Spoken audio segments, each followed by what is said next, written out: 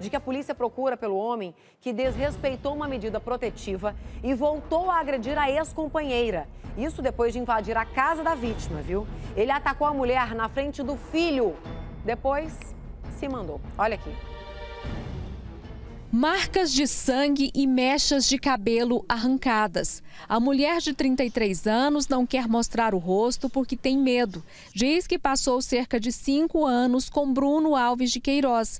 Inicialmente, ele parecia ser um príncipe, mas depois. Virou um monstro. A atendente de call center explica que a agressividade começou a aparecer quando o companheiro quebrava coisas da casa. Toda vez que acontecia alguma coisa que contrariava ele, ele explodia. Só que na maioria das vezes era com, a, com as coisas, com móveis. Quebrou porta de guarda-roupa, quebrou espelho, é, TV. Até que veio o primeiro tapa na cara. Ele estava brincando com o meu bebê, Aí eu não queria que ele ficasse brincando porque eu achava que o meu bebê era muito bebê muito pequeno, né? Aí fui e dei um tapa nele e ele me deu um tapa de volta na cara, que eu fiquei tonta. Em setembro do ano passado, eles já estavam separados e teve mais uma agressão. Foi quando ele pediu para ver o meu filho, né? Falou: "Não, eu quero ver meu filho, deixa eu ir aí". E já estava um pouco tarde, já estava ficando à noite.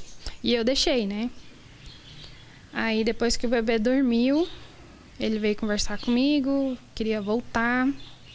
E eu quando falei que eu não queria voltar com ele mais, ele me deu alguns eu não lembro direito quantos, eu não sei não eu ficou branco na hora, sabe? Eu sei que ele me deu um murro na cara, bem no meio.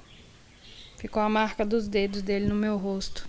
Segundo ela, fez boletim de ocorrência e conseguiu uma medida protetiva, mas não adiantou.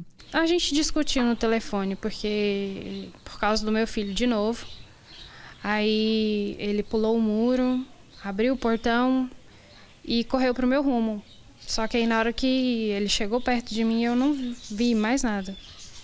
Não sei, acho que a, a porrada que ele me deu na cabeça, eu já desmaiei.